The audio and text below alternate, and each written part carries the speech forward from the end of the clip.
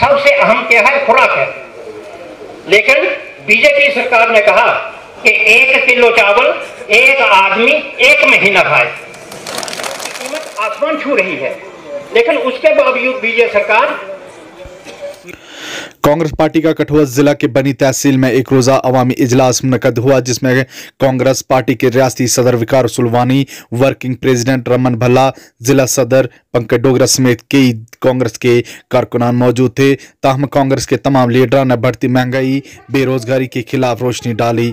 इस मौके पर रियासती सदर विकार सुलवानी ने भाजपा को आड़े हाथों लिया और भाजपा को देश में नफरत फैलाने वाली पार्टी करार देते हुए कहा कि भाजपा जमा ने अवाम को अच्छे दिनों के ख्वाब के बदले में गरीब आवाम को खून के आँसू रुलाया है और महँगाई को कम करने के बजाय महँगाई को आसमान पर ले गई है और रियासत के दो टुकड़े करके लोगों के बुनियादी हकूक को भी छीन लिया है। अच्छे जियो और जो अपने नए बच्चे हैं, चाहे वो मुसलमान के, राजपूत के, गद्दी के, दलित के, उन बच्चों का सोचो। मत हो इन लोगों के बहकावे में। सबने आज़ादी की जंग लड़ी। यहाँ से अंग्रेज़ों को भगाया शहादतें दी, कुर्बानियाँ दी, उस वक्त कोई हिंदू मुसलमान का फसाद नहीं। ये बाद में बीजेपी ने यहाँ लाया। इसलिए जिस तरीके से उन बुज़ुर्गों ने हमारे देश को आज़ाद किया, उस तरीके से आज आपको सबको कटे होना, जो ये पाठशालाएँ पढ़ाते हैं, जो ये बातें बोलते हैं, उनको बोलो, महँगाई कम हुई, उनको बोलो, हमारे बच्चों का रोज़गार मिला हमारी बनी में सड़कें बनी, हमारी बनी में पानी की स्कीमें आई, हमारी बनी में बिजली की स्कीमें आई, हमारी बनी में बड़े बड़े अस्पताल बने, डिस्पेंसरियाँ बनी, स्कूल खुले, इनका जवाब दो पंद्रह पंद्रह लाख अकाउंटों में आए दो दो करोड़ नौकरियाँ मिली, इसका जवाब दो, जो आप कह रहे हो नफरत की बातें उसका जवाब हम आपको दें। लिहाजा बुजुर्गो, इस चीज़ से आपको खबरदार रहने की ज़रूरत है। हम और आएँगे। गाँव गाँव में आएँगे जगह जगह जाएँगे और बीजेपी के नफरती कीटाणु को बाहर निकालेंगे। जैसे दूध में नकनकी को निकाल के फेंका जाता है वैसे फेंकेंगे। इस बनी को मज़बूत करेंगे काजल राजपूत की शक्ल में और इंशाल्लाह इसको जिताएँगे। इन्हीं अल्फाज से मैं आपसे तो कांग्रेस की तरफ़ से मैंने और मेरे साथियों ने बल्ला साहब और सारे साथी और पूरे कश्मीर में जम्मू में हमने पब्लिक आउटरीच और वर्करों से मिलने का एक पूरा प्रोग्राम तैयार किया है। एक महीने से हम एक दिन भी नहीं बैठे हैं और हर जगह आप देखेंगे, दो दिन पहले मैं हंदवाड़ा और लोलाब के एरिया में था, कुलगाम में था। अभी बनी से हमने शुरू किया, अभी बिसोली है बाद में भद्रवा किश्तवाड़, बलेसा भी है। तो हम वर्करों से मिल रहे हैं और लोगों की समस्याएँ को देख रहे हैं। जैसे अभी मैं बड़ा हैरान हुआ कि एक एसडीएम सब डिवीज़न है ये बनी और यहाँ पे फायर सर्विस नहीं है। ये तो ये तो लानत है ऐसे एडमिनिस्ट्रेशन को और ऐसी सरकार को कि इन्होंने फायर सर्विस का स्टेशन नहीं दिया। और पहले यहाँ पे आगजनी हुई थी और वहाँ बचता क्या? जब फायर सर्विस नहीं होगी तो बचाएगा कौन? तो हम बड़ा दुख है हमें और बड़े कंडम करते हैं हम। सरकार को इमीडिएटली वार फ़ूड बेस पे यहाँ पे फायर सर्विस भेजनी चाहिए। इसी तरीके से यहाँ पे सड़कों की प्रॉब्लम्स है। लोगों ने जो स्पीचें दी, पानी की प्रॉब्लम है, बिजली रहती नहीं है। बिजली की बिलें हज़ार हज़ार रुपये लोगों को आती है तो बिजली होती नहीं है। तो लोग बड़े परेशान हैं।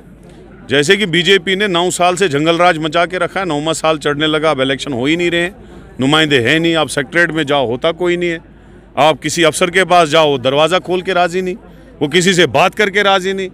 आज का तहसीलदार जो है, वो कमिश्नर बन चुका है। गवर्नर रूल में उसको कोई पूछ ही नहीं लिहाजा मैं ये कहूँगा कि इमीडिएटली सरकार को इलेक्शन करने चाहिए और लोगों को अपनी सरकार देनी चाहिए। और जो यूटी में ये सर चढ़ गई एडमिनिस्ट्रेशन ये यूटी को ख़त्म करके यहाँ पे स्टेट देने चाहे और जो हमें महाराजा ने स्टेट सब्जेक्ट दी थी उसको वापस करना चाहे। उससे हमें नौकरियों का तहफ़ भी था हमें आ, क्या कहते हैं वोट का तहफ़ भी था और हमारी ज़मीनों का तहफ़ भी था। 1927 में दी थी महाराजा ने हमें स्टेट सब्जेक्ट लिहाजा हम यहाँ पर आए हैं वर्करों से मिलने लोगों से मिलने लोगों के हालात देखने और कांग्रेस पार्टी को मज़बूत करने यही थिन था और आज मैं मुबारकबाद देता हूँ कि आज कॉन्स्टिट्यूशन डे था। जो कॉन्स्टिट्यूशन जो है बीजेपी ने रोंद के रख दिया, ख़त्म करके रखा अपने आठ सालों में। आपने देखा किस तरीके से नोटबंदी की, आपने देखा किस तरीके से इन्होंने जो है व- क्या कहते हैं जुडिशरी को इस्तेमाल किया, अपनी मर्ज़ी से इलेक्शन कमीशन को इस्तेमाल किया और जीएसटी को लोगों के खिलाफ लाया। आज सबसे ज़्यादा टैक्स जो है वो गरीबों पे लग रहा है। आज जो भी, जिस मामले में आप देखोगे, हर चीज़ में टैक्स चावल में टैक्स, दाल में टैक्स, महँगाई दुनिया की, महँगाई इतनी है कि हद से ज़्यादा महँगाई थी, उसके बाद भी जीएसटी खाने पीने की चीज़ों पे, दही तक पे जीएसटी लगा दिया। तो मुझे लग रहा है कि अब इस सरकार को खुद ही रिज़ाइन देना चाहिए, यहाँ सरकार इलेक्शन कराने चाहें, ताकि चुनी हुई सरकार आए, वो लोगों के काम करें। शुक्रिया। मुझे याद है कि 2014 में आप यहाँ पर आए थे, तेरह में। यहाँ पे आपने एक मंडी अपनी मंडी दी थी बननी में। आज तक वो बन नहीं पाई क्या वजह है कि आज अब सरकार बदल गई है सरकार की जवाबदेही बनती है। किसकी सरकार सर, सरकार की जो मौजूदा सरकार है सरकार है कहाँ पे दिखाई नहीं देती। हमें गवर्नर से एलजी पे ले आए और एलजी के बाद एक एडवाइज़र पे वो जम्मू कश्मीर में क्या भला कर पाएगा? इसलिए हमने कहा कि कॉन्स्टिट्यूशन डे आज उसकी बहुत बड़ी इंपॉर्टेंस है कि जमहूरियत बहाल हो यहाँ पे पूरे चुने हुए नुमाइंदे हो तो लोगों की मुश्किलें सुने भी उसका समाधान कर पाएँ। तो लेकिन आज जो खामियाँ यहाँ पे हैं, मैं समझता हूँ कि नौ साल हो गए, सरकार जो है, जिसने जमहूरियत का कत्ल किया, फौरी तौर पे चुनाव करे। और आज के दिन, अगर भाजपा अंबेडकर साहब को श्रद्धांजलि देना चाहती है तो यही सच्ची श्रद्धांजलि होगी कि हमारे रियासत का दर्जा वापस दे और यहाँ पर जमहूरियत बहाल करें।